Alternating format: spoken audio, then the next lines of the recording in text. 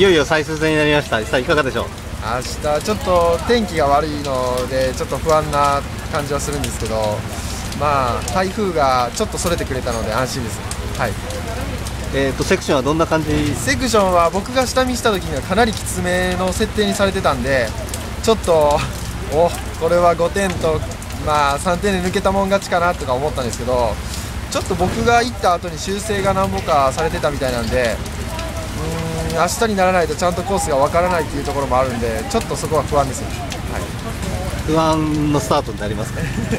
そうですね。なんかもうここの菅生は会場自体はすごいいい場所なんですけど自分的にはすごい苦手な場所でもあるんでもう不安ばっかりなんですけどこれをまあ来年もまた不安やとは言いたくないんでここを今年から得意にしたいです、